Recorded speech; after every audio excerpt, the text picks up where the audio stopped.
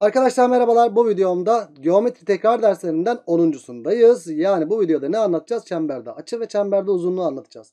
Şimdi e, çemberin en başında teğet ve kiriş özellikleri olduğu için teğet ve kirişe girmişken uzunluklarını hepsini anlatayım dedim. İlk başta uzunluğu anlatacağım. Sonra çemberde açıyı anlatacağım. Çemberde açı önce olmuş, uzunluk sonra olmuş ya da ikisi değişik olmuş hiç fark etmez arkadaşlar. Öncelikle uzunluğu anlatsak da çok sıkıntı olacağını zannetmiyorum arkadaşlar. Hatta ilk başta hep uzunluğu anlatıyoruz normalde. Kiriş ve özellikleri derken zaten. Şimdi e, ne yapıyoruz arkadaşlar? Öncelikle şunu yapıyoruz her zaman söylüyorum. Tabii ki sizler e, geometri şey videonun açıklama kısmında boş pdf var. O boş pdf'i indirip e, soru kısmına geldiğimiz zaman videoyu izlemeyi bırakıyorsunuz. Soruları kendiniz çözüyorsunuz. Çözemediğiniz soruları dolu pdf'ten çözümlerine bakarsanız daha da çözemezseniz gerekli videoyu izleyip e, yani videonun devamındaki soruyu gerekli soruyu bulup oradan çözümünü de dinleyebilirsiniz arkadaşlar. Şimdi e, burada şunu söylemek lazım bir de bir de ne yapacaktık? Map kazanım testlerini de çözmenizi de tavsiye ediyorduk. Çemberle alakalı map kazanım testleri mezun testlerinde var. Bir de nerede var arkadaşlar? 11. sınıf testlerinde olması lazım. Evet 11. sınıf testlerinde de e, çember testleri var. Onları da web kazanımları da çözün. Biz bunları zaten şeyde çözüyorduk. E, Zonguldak ÖDM kanalında çözüyorduk arkadaşlar. E, oradan da ulaşabilirsiniz çözümlerine. Tamam. Evet şimdi Çembere başlayalım. Çember. Çemberin tanımı ilk önce nedir arkadaşlar? Çemberin tanımı düzlemde sabit bir noktaya eşit uzaktaki noktaların geometrik yerine biz ne diyoruz? Çember diyoruz. İşte bu noktalar sıklaştıkça ne oluyor? Bir çember belirtiyor arkadaşlar. Yani çemberin merkezini O, yarıçapına R, dersek tanımdan zaten çemberin merkezinin önemli olduğu ve eşit uzunluk ne bu? Yarıçap. Yarıçapın da önemli olduğu belli zaten. O yüzden çemberde bir ek çizim falan çizeceksek çemberdeki ek çizim en etkili silahımız yarıçap. Yarıçap çizmeyi ihmal etmeyin arkadaşlar. Biraz sonra sorulara geldiğimiz zaman da bu yarıçapın ne kadar önemli olduğunu zaten göreceksiniz arkadaşlar. Yarıçap çizeceksiniz. Birincisi bu. İkincisi çemberde uzunluk. Arkadaşlar önce üçgende uzunluktan bahsedeyim. Bir üçgende bir uzunluk bulurken aklınıza hangi konular geliyor? Bir uzunluğu bulurken özel durumlar yoksa açıortay ve kenarortay gibi özel durumlar yoksa nereden bir uzunluk bulabilirsiniz? Bir, Pisagor bağıntısından bulabilirsiniz. İki, üçgende benzerlikten bulabilirsiniz değil mi? Çemberde uzunlukta da yine aynı şekilde arkadaşlar. Bir, dik üçgenden bulacaksınız. Pisagor bağıntısından. iki, üçgende benzerlikten bulacaksınız. Hocam üçgende benzerlikten nasıl bulacağız? Sen orada açılara dal. Büyük ihtimalle üçgenler de açı açı açı benzerliği zaten çıkar. Ama çoğunlukla biz dik üçgenle e, haşır neşir olacağız arkadaşlar bu konuda. Yani dik üçgenle haşır neşir olacağız da bize ne lazım o zaman burada? Bir 90 derece lazım arkadaşlar. 90 dereceyi elde etmek için elimizden geleni yapacağız.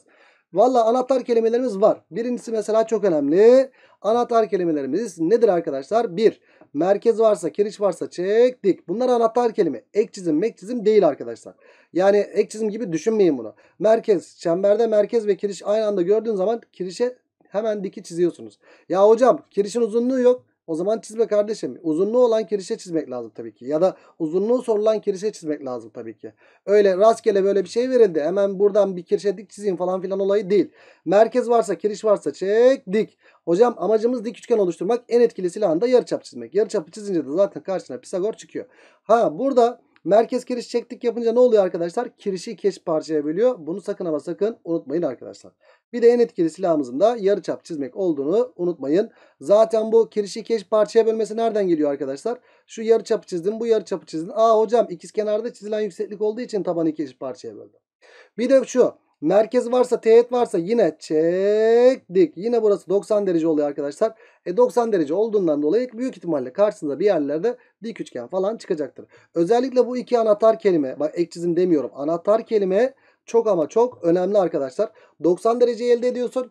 Bir şey çizmen gerekiyorsa ek çizim olarak ne çizeceksiniz? Tabii ki yarıçap çizeceksiniz. Ha olur ya bir de böyle bir dik yamuk falan geldi. E, önceki konuları yine kullanacaksınız. Dik yamuk gördüğünüzde insan olan ne yapar? Dikdörtgen çizer ve burada dik üçgen oluşturur diye hep söylüyoruz zaten. Amaç dik üçgen arkadaşlar. Başka da bir şey değil. Tamam Bunu sakın ama sakın unutmayın.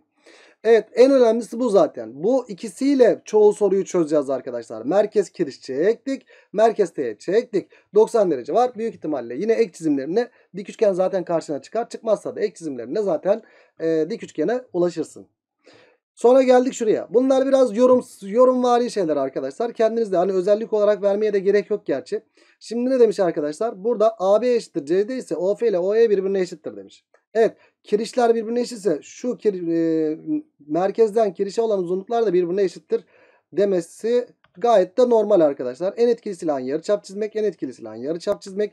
E, yarıçapı çizdin, yarıçapı çizdin. Burası A ise, burası da e, A ise eğer arkadaşlar. O zaman ne oldu? Pisagor bağıntısı yapacak olursam burası B ise A kare artı B kare R kare eşit ya. Burası da B olmak zorunda arkadaşlar. Tamam mı? Pisagor bağıntısından burası da B olmak zorunda. Gerçekten de kirişler eşitse ayırtı, e, şu e, uzunluklar da ne oluyor arkadaşlar? Birbirine eşit oluyor. Hatta kirişler eşitse buradaki yaylar da birbirine eşit oluyor arkadaşlar. Özellikle bunu çemberde açıda kullanacağız. E, yay muhabbetine çok fazla dalmayayım isterseniz burada.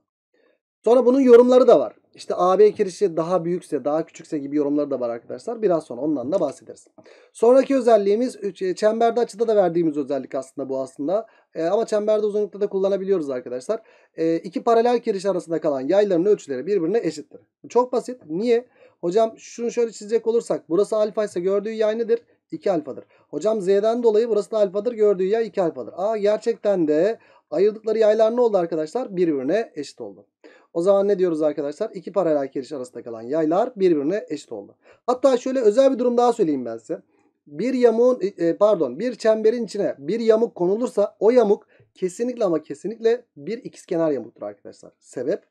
Şimdi şöyle düşünün. Hocam şurada bir yamuk koydum mesela. Bu bir yamuk. Karşılıklı iki kenarı paralel olan dörtgen ya. Aa hocam karşılıklı kenarları paralel. O zaman ayırdıkları yaylar eşit. Yaylar eşitse kirişler de eşittir. Yani şu parçalarda birbirine eşit oldu. Bu kesinlikle ama kesinlikle ikizkenar yamuk olmak zorunda. Tamam mı? Ya yeri gelmişken bunu da söylemek istedik tabii ki. Sonra ne var arkadaşlar? Dördüncü özellik. Bakın bu da yorum. AB küçüktür CD ise. Bak AB küçüktür CD ise. AB'yi ben daha da küçültecek olursam. AB'yi daha küçültecek olursam. AB daha da küçüldüğü zaman bizim OF uzunluğumuz ne oluyor arkadaşlar? Daha da büyüyor. O zaman OF büyüktür OE diyebiliriz. Ya da AB kirişini ben daha da büyütecek olursam yani çapa yaklaştıracak olursam OF kirişimiz daha da ne oluyor? OE kirişinden daha da küçük oluyor. Bunu herhangi bir özellik olarak ezberlemenize gerek yok. Kendiniz zaten bunu kendi yorumunuzla bulabilirsiniz arkadaşlar. Tamam mı? Evet bunu unutmayın. AB küçüktür CD ise OF küçüktür e, OF büyüktür OE. Bu bir yorumdur. Herhangi bir şekilde ezber mezber yapmanıza gerek yok. Bir çember içindeki bir P noktasından geçen en kısa kiriş P'den geçen yarıçapa dik olan kiriştir. En uzun kiriş de çaptır. Evet. Bunu zaten bakalım şurada göstermiş miyiz arkadaşlar? Şurada göstermişiz. Evet. Bir e, şeyden geçen arkadaşlar P noktasından geçen en kısa kiriş nedir arkadaşlar? Şu şekilde iki eş parçaya ayıran kiriştir. En uzun kirişinde çap olduğunu zaten biliyoruz arkadaşlar. Bu özel durumda karşımıza çıkabilir. Yani çemberin içinde bir nokta var. Buradan geçen en uzun kiriş çaptır. En kısa kiriş şöyle iki eşit parçaya bölünen kiriştir arkadaşlar. Bunun ispatını biz zaten şeyde yapmıştık ama bunu da özel olarak bilmenizde fayda var. Sonra kirişler dörtgeni. Çemberde açıda zaten biz bunu yine söyleyeceğiz arkadaşlar. Ya da çemberle açıyla karışık ya zaten buradaki şey. Çemberde açıyla da karışık olduğu için burada da direkt söyleyebiliriz. E, kirişler dörtgenin özelliği yani çemberin içindeki kirişlerden oluşan dörtgene biz kirişler dörtgeni diyoruz. Kirişler dörtgeninde karşılıklı açılar toplamı 180 derecedir arkadaşlar. Alfa ise 180 eksi alfa. E burası beta ise burası da ne olacak? 180 eksi beta olacaktır. Ya bilmeseniz de çıkartabilirsiniz diyeceğim ama yani o zaman şey olabilir arkadaşlar. Yani e, sıkıntılar yaşayabilirsiniz bazı yerlerde. O yüzden bilmenizde de fayda var diye söylüyoruz. Tamam Sonra teğetler dörtgeni. Teğetler dörtgeninde teğetlerden oluşan dörtgene denir arkadaşlar. Karşılıklı kenarlar toplamları birbirine eşit. Alanla ilgili bir şey var. O alanı hiç söylemeye gerek yok arkadaşlar. Karşılıklı toplamları birbirine eşit. Ya bunu da aslında bilmenize de gerek yok bence. Niye biliyor musunuz? Çünkü niye? Sen şu çemberde teğet özelliğini bilmelisin. Şu teğetler arkadaşlar birbirine eşittir çemberde. O zaman hocam bu teğet bu teğet eşit. D x x. O zaman buraya ne kaldı? D x kaldı. Buraya da D x kaldı. O zaman burası ne oldu arkadaşlar? Ee, burası tamamı a'ydı. a eksi d eksi x yazabilirsiniz böyle. E ondan sonra yazdığınız zaman zaten karşılıklı kenarlar toplamları birbirine eşit olacak arkadaşlar. Yani ya da şöyle ABCD'ye hiç girmeyelim isterseniz. Bakın ABCD'ye hiç girmeyelim. Şöyle diyelim. Burası X ise burası nedir? X'tir. Burası Y ise burası nedir? Y'dir. Burası Z ise burası nedir? Z'dir. Burası T ise burası nedir? T'dir. Şimdi karşılıklı kenarlara bak. X, Y, Z, T. O A hocam X, T, Y, Z. Yani X, Y, Z, T. Gördünüz mü? Gerçekten de karşılıklı kenarlar toplamları birbirine eşit oldu. Siz kendiniz de yine bu özelliği bilmeden rahat bir şekilde yapabilirsiniz diye tahmin ediyorum arkadaşlar. Bir de teğetlik gelmişken arkadaşlar birbirine teğet çemberleri burada yazmamışız mesela konu anlatımında. Birbirine teğet çemberler gördüğünüz zaman arkadaşlar birbirine teğet çemberler içten de olabilir dıştan da olabilir. Çemberde uzunlukta biz bunu çok kullanıyoruz arkadaşlar. Birbirine teğet çemberler gördüğünüz zaman çemberde açıda farklı bir durum yapıyoruz tabii ki. Çemberde açıda ortak teğet çiziyoruz. Ama çemberde uzunlukta arkadaşlar merkezleri birleştiriyoruz. Merkezleri birleştiren doğru parçası nereden geçiyor arkadaşlar? Tam olarak değme noktasından geçiyor. Bunun notlarınızın arasına eklemenizi tavsiye ediyorum arkadaşlar. Çemberler birbirine değdiği zaman da anahtar kelime merkezleri birleştir. Ama merkezleri birleştirmekteki temel espri şu. Tam olarak bunlar değme noktasına kadar gidiyor arkadaşlar. Yani değme noktasından geçmek zorunda arkadaşlar. Bakın şunu sakın ama sakın unutmayın. Bu da önemli anahtar kelimelerden bir tanesi. Özellikle çemberde uzunluğu bize çözdüren en etkili silah nedir biliyor musunuz? 1. Merkez varsa, kiriş varsa bak 5 yıldız koydum. Çektik. Merkez varsa, teğet varsa çektik. Bir de şurada arkadaşlar ne var? İki çember birbirine değiyorsa merkezleri birleştir. O merkezlerde nereden geçmek zorunda? Değme noktasından geçmek zorunda arkadaşlar. Tamam. Temel mantık bu arkadaşlar. Olay bu. Geldik çemberde açıya. Çemberde açıda da arkadaşlar tabii ki yani genelde öğrencilere açılar daha kolay geliyor. Uzunluk daha zor geliyor. Aslında uzunluğa baktığımız zaman 3 temel noktayı bildiğiniz zaman her şeyi bütün soruları neredeyse yapabiliyorsunuz. Amaç dik üçgen oluşturmak. Merkez teğet çektik. Merkez kiriş çektik. Çemberler birbirine değiyorsa merkezleri birleştir. Bu üç bilgiyle hepsini yapıyoruz aslında. Gerçekten çok kolay. Ama nedense uzunluk daha zor geliyor. Çemberde açıda baktığınız zaman ya açıyla ilgili yani özellikler aslında şöyle bir çok çok özellik var. Yani özellikle yap, yapılabildiği için ondan dolayı şey var arkadaşlar. Ama sizler özelliği daha çok sevdiğiniz için bilmiyorum. Açıyla da ilgili çok daha, daha zor sorular da geliyor tabii ki arkadaşlar. Neyse ee, sizler de burada tanımları bilmek zorundasınız arkadaşlar. Merkez açıyı bilmek zorundasınız mesela.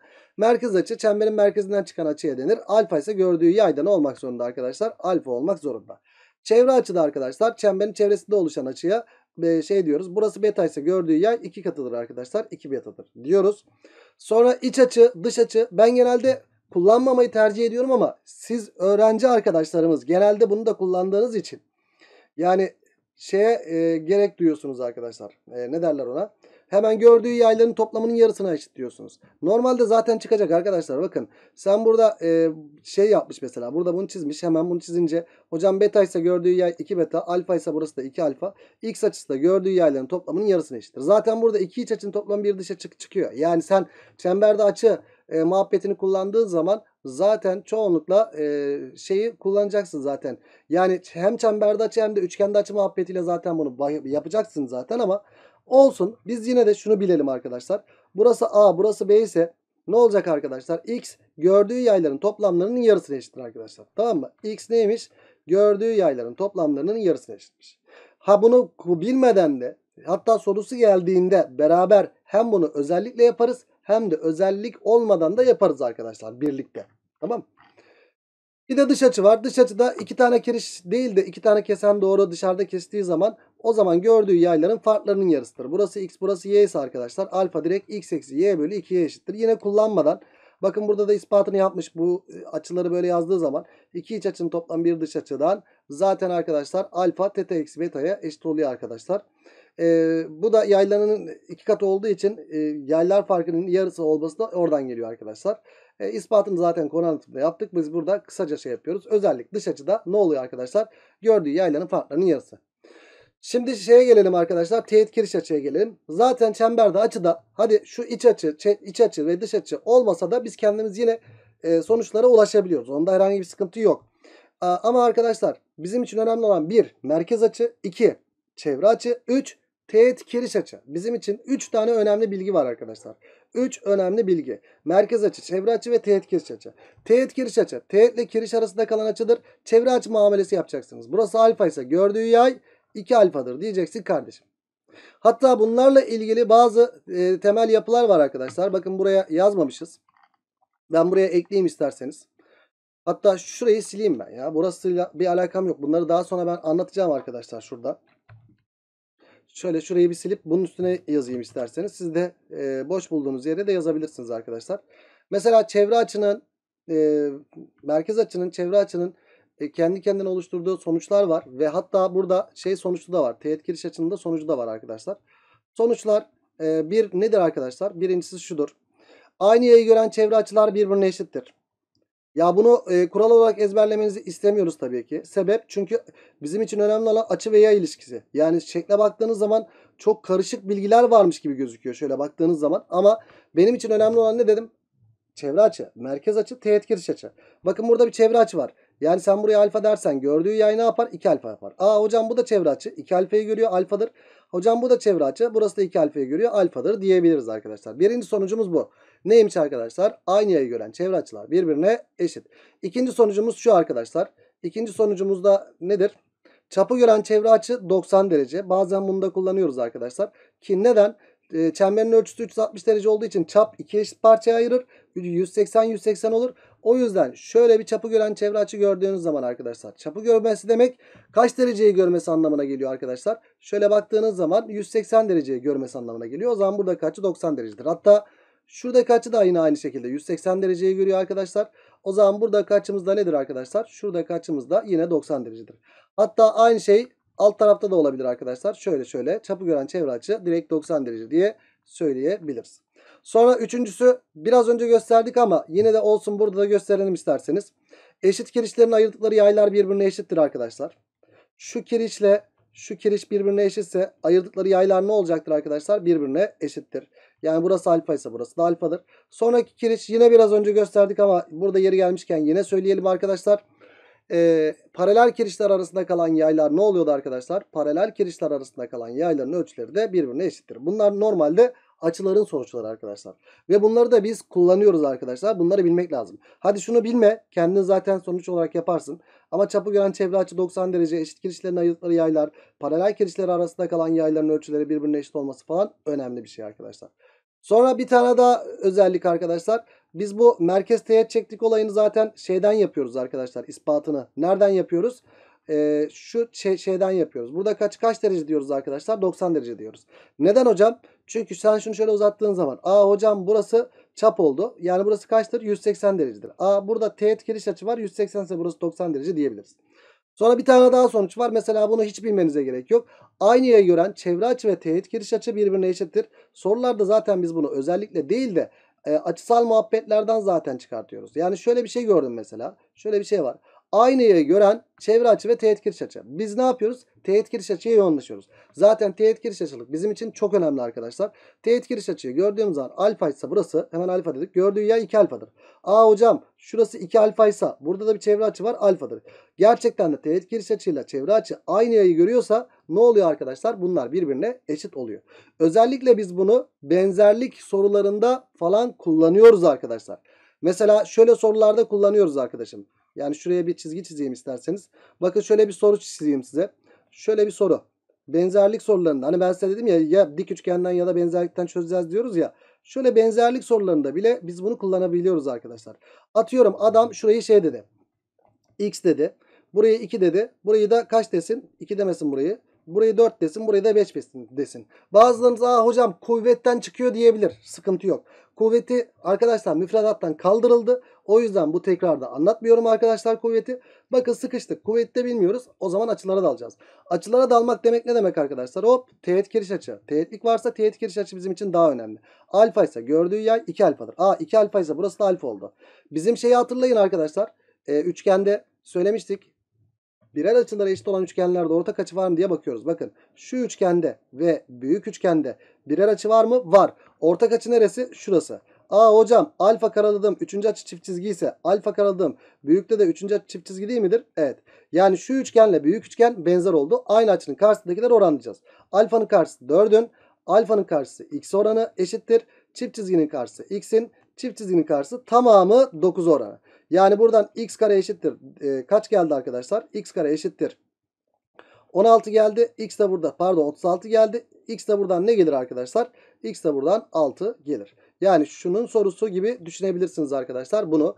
Yani bununla ilgili bu şekilde uzunlukla ilgili soru hatta açısal muhabbetler de yine karşımıza gelebilir tabii ki. Bir de şunu söylemek isterim arkadaşlar.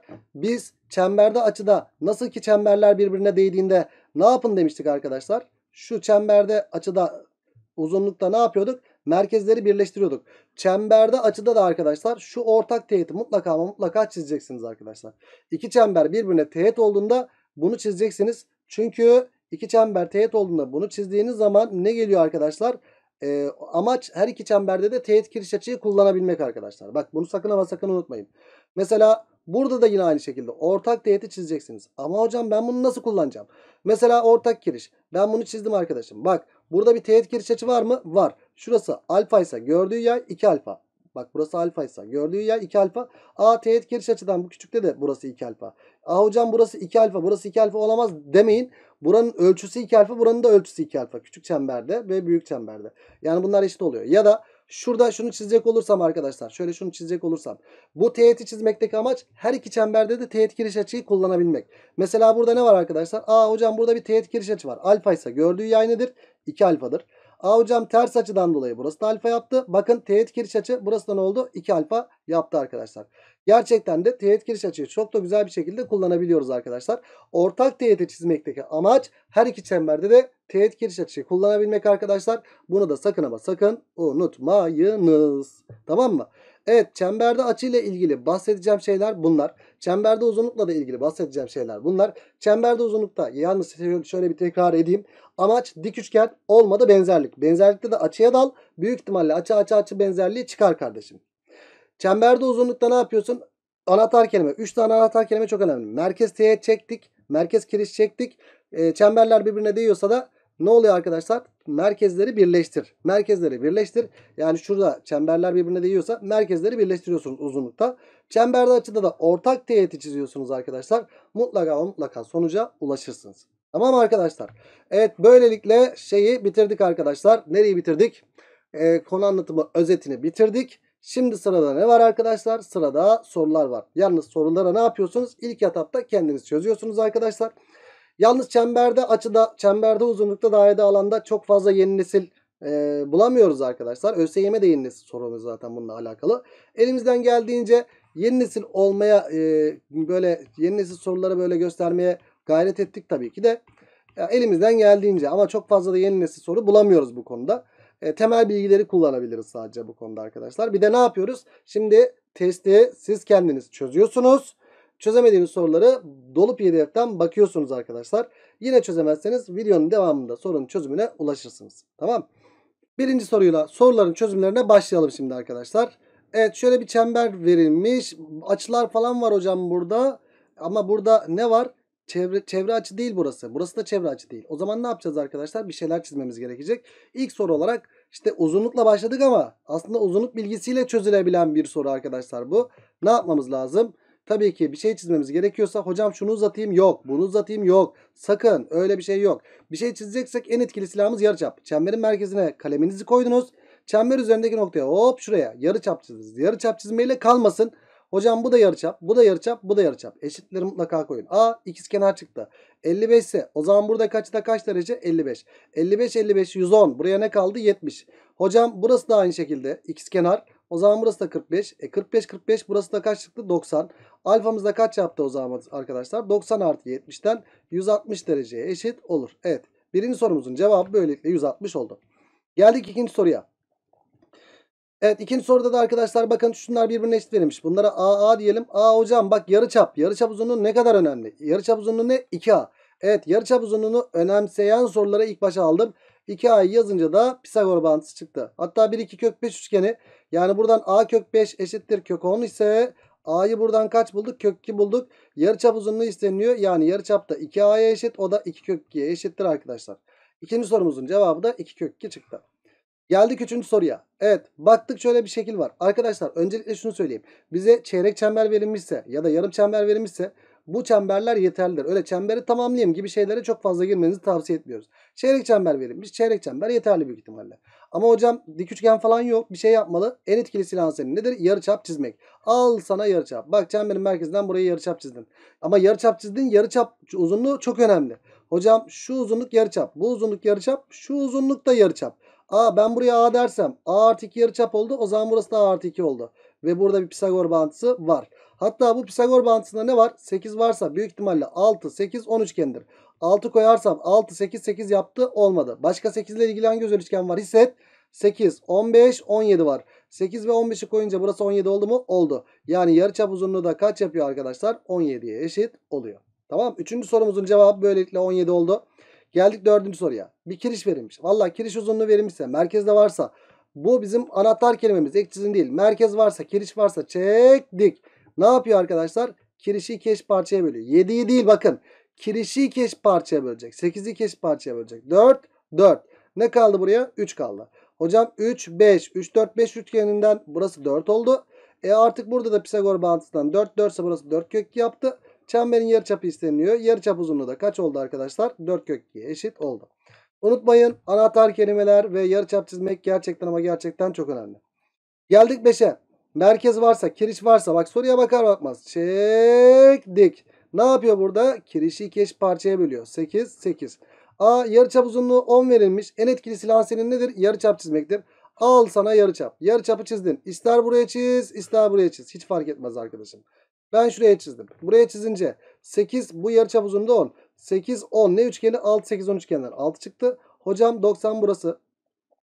90 burası şunlarda paralel ya. O zaman burası da 90 burası da 90. Yani burada bir dikdörtgen oldu. Yani x burası oldu aynı zamanda. Yani x kaça eşit oldu? 6'ya eşit oldu. 5. sorumuzun cevabı böylelikle 6 yaptı. Geldik 6'ya. Çok güzel sorulardan, çok önemli sorulardan bir tanesi arkadaşlar bu. Şekildeki yarıçapı 10 cm olan çemberin içine 6 tane eş kare çizilmiştir. Karenin uzunluğunu bilmiyorum. Buna göre karelerden birinin alanı nedir? Arkadaşlar çemberde benim için önemli olan nedir? Karenin şu kenarı önemli mi? Değil. Bak şurası önemli. Bu bir kiriş ya da burası önemli. Bu da bir kiriş. Ne yapıyorduk? Ee, zaten bizden karelerden birinin alanı isteniyor. Merkez varsa kiriş varsa çek dik yapıyorduk değil mi? Hocam o zaman bu kirişe dik çizeceğim. Karenin kenarına A dersem yalnız burası A dersem A A A olursa buradaki kirişe dik çizdiğimde 3A bölü 2 ile uğraşacağım. Bence 2A diyeyim 2A diyeyim 2A diyeyim sıkıntı yaşamayayım. O zaman burası da 2A burası da 2A burası da 2A burası da 2A olsun. Öncelikle şu kirişin orta dikmesi merkezden geçmez mi? Ya da merkez kiriş çektik. Hemen bunun orta dikmesi ne yapıyor? 4A 4A yapıyor. Evet orta dikmesi bu arkadaşlar. Orta dikmesini çizdik. Bu merkez bunun üzerinde. E bunun da orta dikmesi bu merkez üzerinde olmak zorunda diyeyim arkadaşlar. Çünkü merkez kiriş çektik yapacağım. E o zaman çemberin merkezi neresi yaptı arkadaşlar? İşte tam olarak burası yaptı. Merkez kiriş çektik. Ne yaptı? 4A 4A diye ayırdı arkadaşlar. Merkez kiriş çektik. Ne yaptı? 6A ise 3A 3A diye ayırdı arkadaşlar. A o zaman burası ne oldu? Şurası 90 derece ya. Şurası 3A oldu. E bizim en etkili silahımız yarıçap çizmekti. Al sana yarıçap. İster buraya çiz, ister buraya çiz, ister buraya çiz. Hiç fark etmez. Yarıçap uzunluğunda kaç vermişti? 10 vermişti. Hocam 3A, 4A bu o zaman burası 5A. Yani 5A eşittir 10 sa A'yı buradan ne bulduk? 2 bulduk. Karelerden birinin alanı nedir diye soruluyor. O zaman 2A eşittir 4 yaptı. Benden de 4'ün karesi 16 isteniyor arkadaşlar. İşte bu soruya dikkat edin arkadaşlar. Çok güzel sorulardan bir tanesi. E burada e, dikdörtgenlerin karelerin sayısını böyle şey yapabilirler. Dikdörtgen şeklinde verebilirler. Yalnız sen bu sorunun mantığı anladıysan e, büyük ihtimalle bununla ilgili çıkacak soruyu da rahat bir şekilde yaparsın. Valla e, bu soruyla ilgili hislerim var demedi demeyin. Demedi demeyin ona göre. Geldik 7'ye.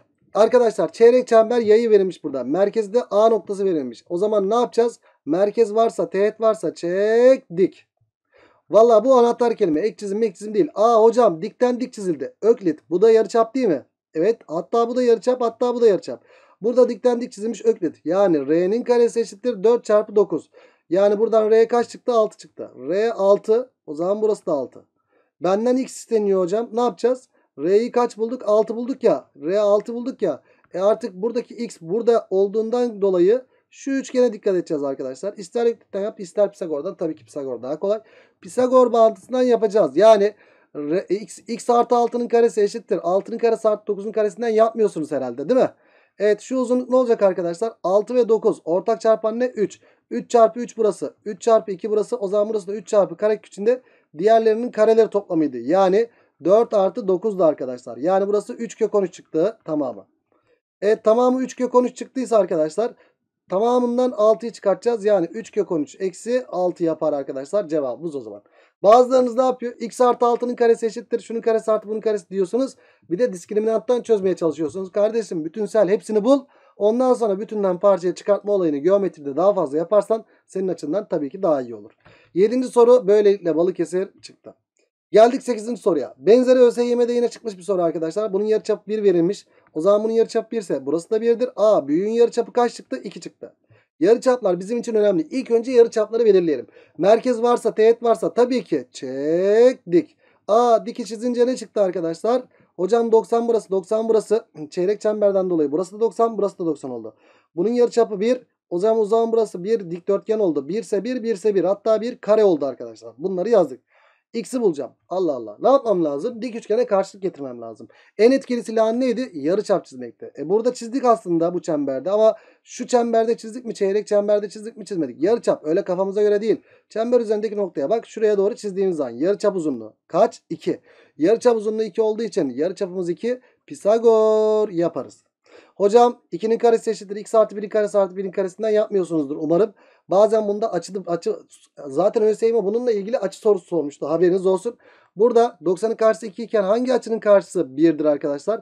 Tabii ki 30'un. E o zaman burası da 60 çıktı. 30'un karşısı 1 ise 60'ın karşısı da kaç yapar? Kök 3 yapar. O zaman x artı 1 kök 3'e eşitse x de buradan neye eşit oldu? Kök 3 eksi 1'e eşit oldu arkadaşlar. 8. sorunun cevabı da kök 3 eksi 1 yapar. Geldik 9'a. Evet. Çok anahtar kelime var. Yani çok ek çizim var hocam burada. Yok ek çizim ek çizim yok. Bu bir kare miymiş? Kareymiş. Kare olduğu için bir kere her yerin 16 olduğunu bir yazalım arkadaşlar. Ya burada e, şu 16'ları göstermiyorsunuz ondan sonra sıkıntı yaşıyorsanız. Öncelikle onu söyleyeyim. Ne yapıyoruz? Merkez varsa, teğet varsa çektik. Kiriş varsa çektik. Hocam burada da kiriş var. Çektik. Hocam burada da kiriş var. Çektik. Çok ek çizim yaptık. Hayır. Bunları ek çizimden saymıyoruz. Bunlar bizim nelerimiz arkadaşlar? Bunlar bizim anahtar kelimelerimiz. Evet bu diki çizdim. Kirişi iki, iki eşit parçaya böldü. Bu diki çizdim. iki eşit parçaya böldü. Hatta burada dikdörtgen oluştu. Çizgi ise burası da çizgi oldu. Çizgiye çizgi. Hocam bu teğetten burası 90 derece. Bizim için yarıçapta önemli. Burada da kirişi çizdim. İki eşit parçaya böldü. 8 8. 8'den yürüyelim öncelikle. Hocam burası 8. Hocam burası da 8. Buraya da bir yarıçap diyelim mi? Diyelim. Bu da yarıçap uzunluğu. Aa hocam Bak burası yarıçap uzunluğu. Hop burası yarıçap uzunluğuysa tamamı 16 ise buraya 16 eksi R kaldı. O zaman burası da 16 eksi R. Burası da 16 eksi R. Ben R'yi bulursam olay bitti sanırım galiba. Değil mi? 16 eksi R. Ne yapmam lazım? En etkili silahım. Tabii ki yarı çap. Çemberin merkezine koy. İstediğin yere çiz kardeşim. İster buraya çiz, ister buraya çiz. Bakın her şey çıkıyor medre. İster buraya çiz, ister buraya çiz. Fark etmez. Ben buraya çizeyim. Bu yarı çap neydi zaten? Yarı çap R'ydi. E, kullan o zaman burada bir Pisagor'unu. Hatta ne var burada arkadaşlar? Hisset 8 varsa büyük ihtimalle 6, 8, 10 üçgendir. E, R yerine 10 yazacak olursak arkadaşlar burası 6 yapıyor mu? Yapıyor. Yani yarı çapımız kaç çıktı? 10 çıktı. E, yarı çapımız pardon 6, 8, 10. Evet. Şurası 16 iken 16 eksi R, 16 eksi R. Tamam. Yarı çap yerine 16 şey 10 yazdığımız zaman arkadaşlar burası kaç çıktı o zaman arkadaşım? 6 çıktı. Bakın dikkat. Burası 6 çıktı. Hocam burası da 6. Dikkat edin x isteniyor bizden. E bunun tamamı 16 idi. 6 6 12 yani x artı 6 artı 6 eşittir 16 yapmalı. X'i de buradan kaç buluruz arkadaşlar? 4 buluruz. 9. sorunun cevabını böylelikle 4 bulduk arkadaşlar. Geldik 10. soruya. Bak bu zamana kadar ne yaptık? Merkez kiriş çektik. Merkez teğet çektik. Bunları yaptık farkındaysanız arkadaşlar. Şimdi sırada ne var? Şu teğetlikle alakalı şeyler var arkadaşlar. Yani anahtar kelimeli soruları hallettik. Merkez teğet çektik. Merkez giriş çektik. Ee, bir de en güzel ek çizim yarı çap çizmeyi hallettik. Sırada teğetler var. Teğetlerde ne oluyordu arkadaşlar? Teğetler de birbirine eşitti. Evet şu teğetlerin birbirine eşit olmasını kullanıyoruz. Eyvallah ama şurada küçük teğetleri maalesef kullanamıyoruz. Arkadaşlar bunlar da birbirine eşittir. Şu küçük teğetler de birbirine eşittir. E bunları da yazalım o zaman. ABC üçgenin çevresini vermiş. Versin hiç önemli değil.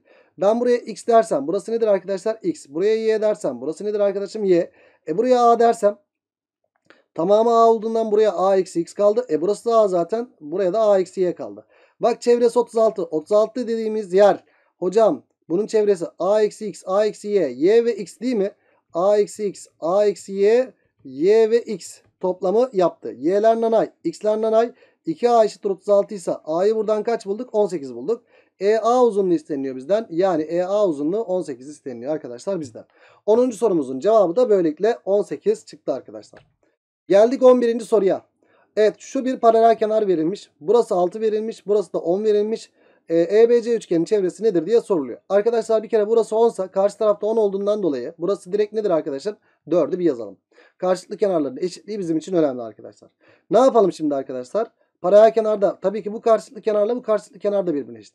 Teğetler var. Teğetlerin eşitliğini mutlaka mutlaka yazacağız tabii ki. Hocam buraya x dersem burası da x midir? Evet. Hocam buraya ne kaldı? 6 eksi x kaldı. A, teğet, teğet. Burası da eşit. 6 eksi x. Tamam. Hocam buraya y yazarsam burası x artı y ise karşı tarafta x artı y mutlaka yazalım arkadaşlar. Sonra burası da y oldu. Buraya ne kaldı o zaman? Tamamı 10 olduğundan dolayı 10 eksi y kaldı. E, hocam teğet teğet birbirine eşit 10 eksi y. İşte siz yani şeyde üşengeçliğinizden bu tür soruları yapamıyorsunuz. Yaz kardeşim. Sonra çevresi isteniyor bizden. Aha da bunun çevresine bak şimdi. Bak ne var bunun çevresinde? 4 var. X artı Y var. Yaz. Yaz. 4 var. X artı Y var.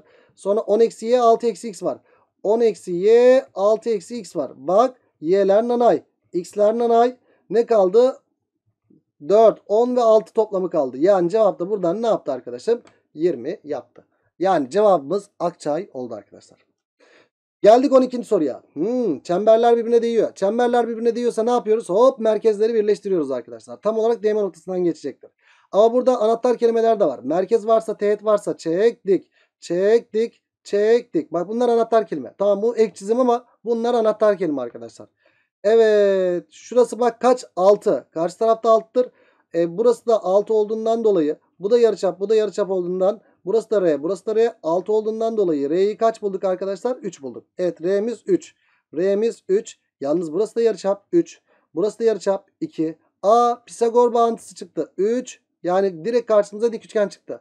3 var 5 var. Ne üçgen arkadaşlar? 3 4 5 üçgeninden burası da 4 yapar. E zaten bu yarıçap 3'tü. Burası da 3. Karşı tarafta 3 değil mi? Evet. EM uzunluğu kaçtır diye soruluyor bize. Şimdi EM uzunluğuna bakacağız arkadaşlar. Arkadaş bu yarıçap kaç birimdi? 2 birimde. Burası da 2 birim. E buradaki EM uzunluğu ne olacaktır? Tabii ki 2'ye eşit olacaktır. Çünkü tamamını 4 bulduk arkadaşlar. Yani EM uzunluğu böylelikle 2 çıktı arkadaşlar. Geldik 13. soruya. Çemberler birbirine değiyor. Vallahi anahtar kelime. Direkt kullan kardeşim. Merkezleri birleştir. Tam olarak merkezleri birleştirdiğimizde buraya geldi. E, EF değme noktaları mı? Evet. DF değme noktaları. Merkez varsa teğet varsa çektik. Merkez varsa teğet varsa çektik. Bu olmadı. Şöyle merkezi şuradaymış gibi düşüneyim. Şu çemberler birbirine değdi. Merkezleri de şurada birleştirdik arkadaşlar. Tamam mı? Şu tam D noktasından geçiyor. Şekil daha düzgün olsun diye yaptım. Bunun yarıçap kaç? 3. Hocam burası da 3. Burası da 3. Burası da 3. Yarıçap uzunluğu bizim için çok önemli. E bunun yarıçapı 6 ya. Hocam bunun yarıçapı da 6. E sen buraya o zaman R diyecek olursan. Burası da R. Buraya ne kaldı? 6 eksi R kaldı. Bak dik üçgen var burada. Pisagor bağıntısından R'yi bulabilirsin. 3 varsa büyük ihtimalle ne üçgendir? 3, 4, 5 üçgendir. O zaman R kaç çıktı arkadaşlar buradan? 2 çıktı. Sebep 2 koyduğumuzda burası 5 yaptı burası 4 yaptı. Hissetmeli sorular özellikle şeyde çok çıkar arkadaşlar. E biz şimdi x'i bulacağız. Hocam zaten burası da 90 derece değil mi? E, burada bir dik yamuk var. E, dik yamukta insan olan ne yapar kardeşim? Hocam insan olan tabii ki dikdörtgeni oluşturur. Şuradan bir dik çizeriz. Buradan bir dik çizince dikdörtgen oluştu. R'yi zaten kaç bulduk arkadaşlar? 2 bulduk. 2 ise burası 2. Buraya 1 kaldı. E, zaten şurası da 2 çıkmıştı. Şuradaki uzunluk da x. Yani şurası 5. Burası 1. Burası x. Yani 5'in karesi 1'in karesi artı x'in karesine eşit. O zaman 24 eşittir x'in karesi. x de buradan kök 24. Bu da 6 çarpı 4 olduğundan 4 dışarıya 2 diye çıktığından x de buradan 2 kök 6'ya eşit olur arkadaşlar. Yani 13. sorunun cevabı da böylelikle ne çıktı arkadaşım? Ee, Denizli çıktı. Geldik 14. soruya. He, AB bölü AD. A hocam kuvvet. Kuvveti bilenler bilir. Bunun karesi bu çarpı tamamı. Tamam ama burayı bulursun. Senden ne isteniyor? AB bölü AD isteniyor. O zaman şurayı bulsam bile pardon düştük düşürdük şeyi. Orayı bulsam bile yani şey sıkıntısı var değil mi arkadaşlar? Evet. Mouse'u düşürdük. Orayı bulsak bile şey sıkıntısı olacak. Yani şunların oranlamasını bulamayacağız. Arkadaşlar bir şeyi yaptığımız zaman yaparken soruları yaparken nereden yapıyorduk? Bir dik üçgen. Olmazsa neye bakıyoruz? Benzerlik. Benzerlik için neye dalıyoruz? Açıya. Aa burada teğetlik var. Teğet olduğu zaman teğet giriş açıya dalın. Alfa ise gördüğü yer 2 alfadır. 2 alfa ise burası da alfadır. Tamam bunu anladık.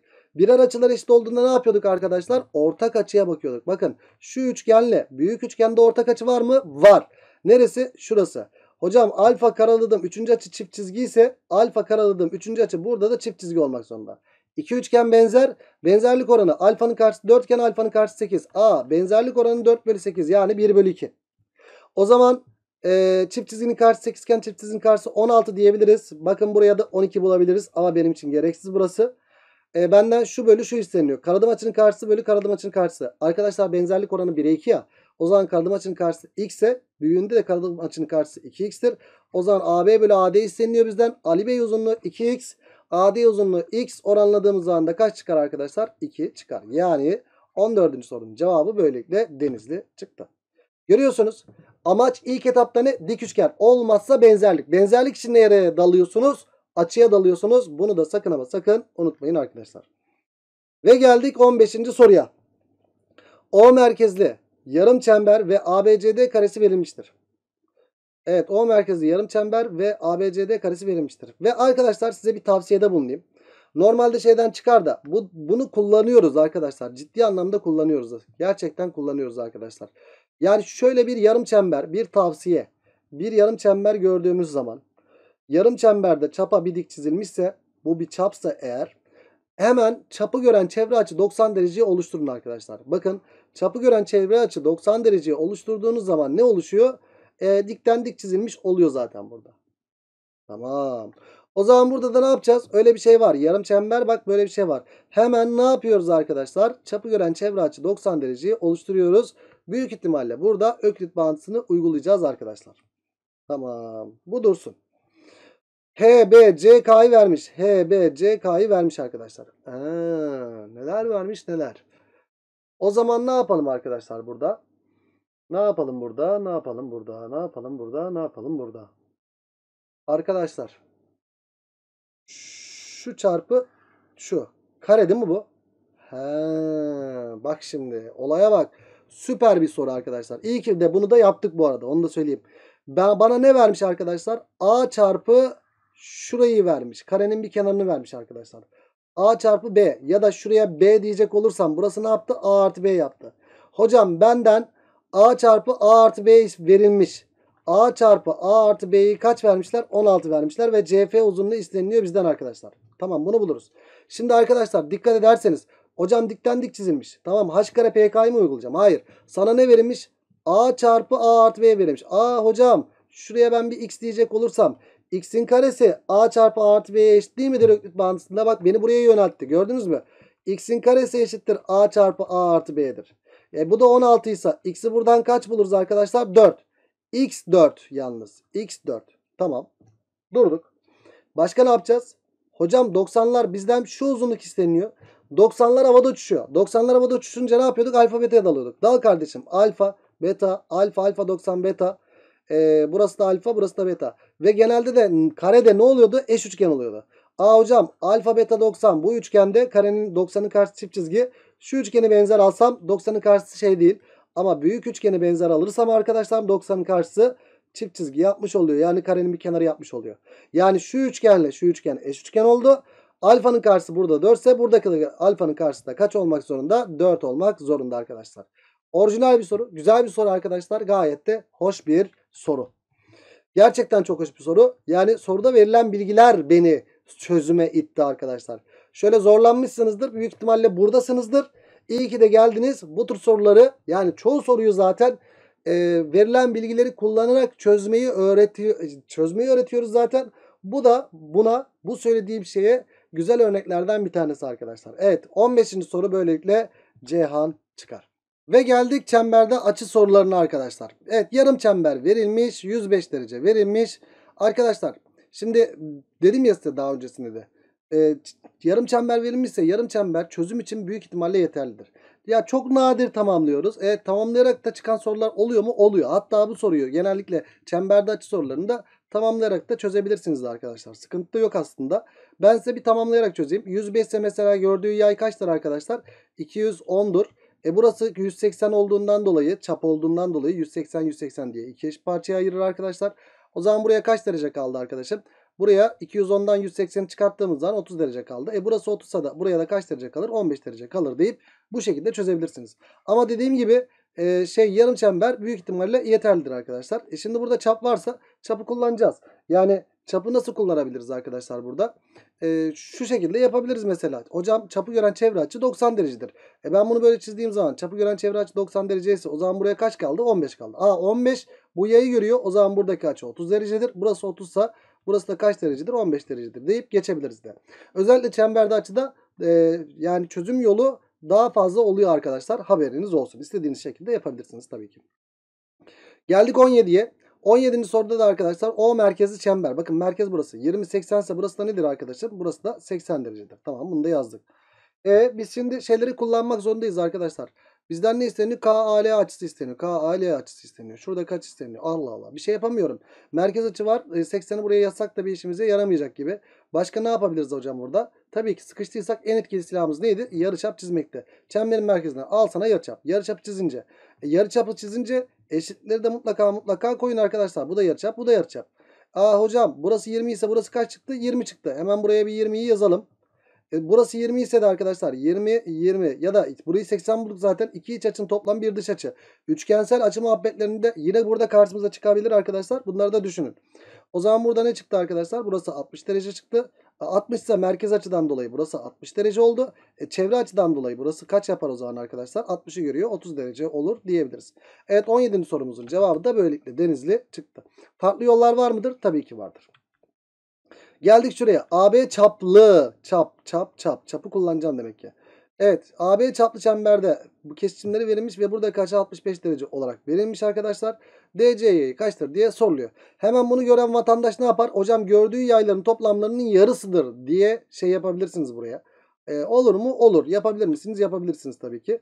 Yani buraya A dersiniz. Buraya B dersiniz. A artı B bölü 2 65 eşit. A artı B bölü 2 65'e eşit. Ama buradan A artı B kaç geldi arkadaşlar? Ee, 110 geldi. Buradan herhangi bir şeyde A'yı ve B'yi ayrı ayrı bulabilir miyiz arkadaşlar? Bulamayız. Ama A artı B'yi 110 bulduk. Değil mi arkadaşlar? Bakın A artı B 110. A artı B 110 sa bunun tamamı da 180 değil mi? Evet. O zaman buraya kaç kaldı? 70 kaldı. Zaten bizden DC'ye isteniyor. Ya da buradan yapacağımıza yine buradan yapacağımıza arkadaşlar nereden yapalım isterseniz e, bu iç açıyı kullanmayalım. Nereden yapalım? Şöyle yapabiliriz. Bu çap ya çapı kullanacağız. Hocam şunu şöyle çizecek olursam isterseniz buradan da buraya da çizebilirsiniz. Fark etmez. Çapı gören çevre açı 90 derecedir. E çapı gören çevre açı 90 derece ise bakın 90'ı yazdık. 90 65 ise şu açıyla şu açının toplamı 90 derece yapacak. Yani buraya 25 derece kaldı. E 25 ise gördüğü yayda kaç yapıyor o zaman arkadaşlar? 50 derece yapıyor. Zaten bizden direkt DC yayı isteniyor arkadaşlar. Yani cevabımız böylelikle 50 çıkar. Yani sen iç açıyı da kullan, dış açıyı da kullan. İstersen şu muhabbetten, normal açı muhabbetinden, üçgenin açı muhabbetinde kullanaraktan yine çözüme ulaşabilirsiniz tabii ki. 18. soru böylelikle ne çıktı arkadaşlar? 50 çıktı. Geldik 19. soruya. Evet 19. soruda da arkadaşlar neler vermiş? 20 var, 30 var. Bak 20 beni ilgilendirmiyor. Dışarıdaki bir açı. Hocam şöyle yapabiliriz. Hocam gördüğü yayların farklarının yarısı. Evet alfa ise gördüğü yay 2 alfa. Bakın burası 30 ise burası da 60. A 20 neye eşit arkadaşım? 20 2 alfa eksi 60 bölü 2'ye eşit. Bu birinci yol olsun isterseniz. Ee, buradan 40 ise buradan 40 ise 150. Alfayı da buradan kaç derece buluruz? 50 derece buluruz. Ama isterseniz yine buradan çözmeyeyim. Dış açı formülünden çözmeyeyim. Dış açı formülünü kullanmamızda da çoğu soruda gerek kalmıyor arkadaşlar. Bakın 30 ise burası kaç derecedir arkadaşım? 60. E burası 60 ise burada kaçı da 30 derece olmaz mı? Evet. Alfaya bak şimdi. E alfaya baktığımız zaman da bak şurada. Sadece üçgen muhabbetini kullanacaksın ya. Olay bitiyor. İki iç açının toplamı bir dış açı. Bitti gitti. Yani cevap kaç yaptı arkadaşlar? Alfamız buradan 50'ye eşit oldu. Yani 20 artı 30'dan 50'ye eşit oldu arkadaşlar. Ya da hocam burası e, iki iç açının toplamı bir dış açıdan bu açı 50. 50 ise 100. 100 ise 50 de diyebilirdiniz arkadaşlar. Bu da farklı bir çözüm yöntemi olsun size. Yani iç açı dış açıyı kullanmaktansa böyle e, hem çevre açı hem de üçgende açı muhabbetini kullanarak da soruları çok rahat bir şekilde çözebiliyoruz arkadaşlar. Gördüğünüz üzere. Geldik buraya. Evet bunlar açısal olarak birbirine eşit verilmiş. Tamam burası alfa burası da alfa diyebiliriz arkadaşlar. Burası alfa burası alfa dedik. Ama beni ilgilendiren bu dışarıdaki açı değil. İçerideki açı çevre açı. Alfa ise gördüğü yay. 2 alfa. Aa burada da bir teğetlik var. Teğetlik olunca teğet kiriş açı gördüğü yayın yarısı değil miydi arkadaşlar? Yani burası alfa oldu. Bakın burada ne çıktı arkadaşlar? Bir üçgen çıktı. İki iç açının toplam bir dış açı. 2 alfa eşittir 40 ise alfayı buradan kaç bulduk? 20 bulduk. DEB yayı isteniyor bizden. DEB yayı. Tamam. Buluruz. Yayı burası alfayı kaç bulduk arkadaşlar? 20 bulduk değil mi? Evet alfa 20 ise gördüğü yay burası kaç yaptı o zaman? 40 yaptı. Hocam burası 40. O zaman burası 80 yaptı. E hocam o zaman burada 80 var 40 var 120. Buradaki yayı bulabiliriz. 80 40 daha 120. O zaman buraya 240 kaldı. 240 ise burada kaçta kaç derece olur? 120 derece olur. Ya da 40 ise 80 teğet giriş açıdan burası 40 olur. 40 20 daha 60 buraya 120 kaldı. 120 ise de zaten burası da 240 diyebilirdik arkadaşlar. Ha ben buradan dolayı 240'ı buldum. Tamam. Burada kaç istenmiyor. Dediğim gibi burası da 40 deyip buraya 120 deyip 120 ise de 240 deyip e, sonuca da bu şekilde ulaşabiliriz arkadaşlar. İstediğiniz şekilde yapabilirsiniz. Geldik 21'e. Ne yapacağız? Hocam şu açı ortaylığı kullanacağım. Kollar, tabanlar uzunlukla alakalı bir şey değil. Demek ki açıyla ilgili bir şey. O zaman bu açılara bir x x diyeyim arkadaşlar. Peki beni ilgilendiren neresiydi arkadaşlar? Teğet varsa teğet giriş açı çok önemliydi arkadaşlar. O zaman buraya bir y dersem. Hocam gördüğü yay 2y. Bak 2y'yi gören burada kaçı da var. Yani burası da y. A burada ne çıktı? 2 iç açının toplam bir dış açı. Yani x artı y eşittir 75 çıktı. Tamam x artı y'yi 75 bulduk. Dikkat ederseniz burası da x artı y yani 75'tir. 75 75 ve alfanın toplamı da 75 75 ve alfa da 180'e eşit olacak. O zaman alfayı da buradan kaç derece buluruz? 30 derece buluruz. 21. sorunun cevabı da böylelikle Ceyhan çıktı arkadaşlar. Geldik 22. soruya. Şekilde bir kavşakta ABC üçgeni şeklindeki kısmın içinde dairesel bir yeşil alan görülüyor. Dairesel alan DEF noktalarında yola teğettir. Tamam. Kavşaktaki trafik durumlarını kaydetmek için çemberin üzerindeki P noktasına bir kamera monte edilmiştir. Ee, BAC açısı 70. BAC açısı 70 derece. Sonra ACB açısı 60. Burası 60. 70 60 buraya da kaç kaldı? 50 derece kaldı arkadaşlar. Neyse. Belki işime yarar. Yaramaz. Kameranın görüş alanı yeşil renkli bölge olduğuna göre kameranın görüş açısı nedir diye soruluyor. Arkadaşlar ne var burada? Teğet teğet olunca açıyla yayın toplamı 180 yapıyordu. Burası 110 yapar. Burası da aynı şekilde 120 yapar. İkisinin toplamı 180 yaptığından dolayı. E o zaman burada ne oldu arkadaşlar? Bakın bu yayı görüyor arkadaşım şu açı. Hangi yayı görüyor? 110 ve 120'nin toplamını görüyor. Yani 230'u görüyor arkadaşlar bu açımız. O zaman alfa ne olmak zorunda? Alfamız da 230'un yarısı olmak zorunda. Yani alfa kaç çıkıyor arkadaşlar? 115 çıkıyor. 22. sorunun cevabı böylelikle 115 oldu. Geldik 23. soruya. Evet burası 110. Ne demiş arkadaşlar? Bir paralel kenar demiş. Şu bir paralel kenarsa burası 110 sa karşılıklı açı, yani ardışık açılar yani şu ikisinin toplamı 180 70. Hatta burası kaç yapıyor? 110 yapıyor. Burası da kaç yapıyor? 70 yapıyor olduğunu söyleyebiliriz arkadaşlar. Bu bir paralel kenarsa karşılıklı kenarlar birbirine paralel mi? Paralel. Karşılıklı kenarlar birbirine paralel olan dörtgenlerde ya da karşılıklı kenarlar birbirine paralelse e, paralel kirişler arasında kalan yayların ölçüleri ne oluyordu arkadaşlar? Birbirine eşit oluyordu. Aa hocam yayların ölçüleri birbirine eşitse o zaman bunlar da birbirine eşit midir? Eşittir. Çünkü yayların ölçüleri eşitse kirişlerin ölçüleri de birbirine eşittir. Çünkü eşit kirişlerin ayırdıkları yaylar birbirine eşit oluyordu. Aa bu da bir paralel kenardı. Karşılıklı kenarlar birbirine eşit. E burası da eşit olmak zorunda. Ne çıktı burada? İkizkenar çıktı. Yani 110 sa burada kaç? 70. E o zaman ikizkenarlıktan burası da 70. 70 70 140. Alfa da buradan kaç derece olur? 40 derece olur arkadaşlar. Evet sonuçları anlatan güzel bir soruydu arkadaşlar. 23. sorunun cevabı böylelikle Akçay çıktı. Geldik 24. soruya. Peki arkadaşlar bizden ne isteniyor? EAF açısı. EAF açısı yani şuradaki alfa isteniyor. Alfa açısının M ve N türünden değeri nedir diye soruluyor arkadaşlar bize. Şimdi şuraya baktığımız zaman burada bir kirişler dörtgeni var mı arkadaşlar? Var. Kirişler dörtgeni bizim için önemli arkadaşlar. Kirişler dörtgeni olduğundan dolayı karşılıklı açılar toplamı 180 derecedir. Yani burası 180 eksi alfadır. Aa hocam burası da 180 eksi alfa yaptı. Ve şuraya bakan arkadaş şunu fark etti mi? Şurada bir boynuz mu dersiniz, bumerang mı dersiniz, şalvar mı dersiniz? Şu üçünün toplamı buna eşit olmuyor muydu arkadaşlar? Oluyordu. O zaman alfa ile m ve n'yi topladığım zaman neye eşit olacak? 180 eksi alfa eşit olacak. O zaman benden alfa açısı isteniyor. Alfayı yalnız bırakacağım. Attık öbür tarafa 2 alfa. 180 eksi m eksi n'ye eşit oldu. O zaman alfa da neye eşit oluyor arkadaşlar? 90 eksi m bölü 2 eksi n bölü 2'ye eşit oldu. Yani 90 eksi m artı n bölü 2 mi eşit oluyor? Eksi, e, eksi parantezini aldığımız zaman. Evet yani cevabımız da böylelikle Ceyhan çıktı arkadaşlar. Eksiyi dağıttığımız zaman eksi m eksi n bölü 2 de geliyor arkadaşlar. Cevabımız Ceyhan çıktı böylelikle. Ve geldik şu soruya. Arkadaşlar şu teğetlerle alakalı soruları e, şeyde bulamadığım için kendi konu anlatımından seçtim. Hatırlarsınız büyük ihtimalle ama olsun. Amaç burada bir şeyleri tekrar etmek zaten. Siz e, aynı sorularda olsa yapabiliyor musunuz, yapamıyor musunuz? Burası önemli arkadaşım. Şimdi burada ne demiş? Şekildeki çemberde T noktalarında birbirine teğet. Birbirine teğet çemberler gördüğümüz zaman ne yapıyorduk? Ortak teğeti çiziyorduk arkadaşlar. Bu çok önemli. Ortak teğeti çiziyoruz. Tamam. Ortak teğeti çizmemizdeki amaç neydi? Teğet giriş açıyı kullanabilmekti. Peki şu ortak teğet dursun. Soruda verilen bir şeyler var mı? TA ile TB birbirine eşit verilmiş. A hocam 70 ise o zaman burası da 70. 70 70 140 ise burada açıda 40 derece yapacaktır. Tamam aklımızın bir köşesinde bulunsun. Sonra ne yapacağız arkadaşlar? Şu teğet giriş açıya yoğunlaşacağız dedik ya. Yoğunlaşalım o zaman. Mesela şurası arkadaşım. Şurasını bulursa. Bak 70 ise gördüğü yay nedir arkadaşım? 140.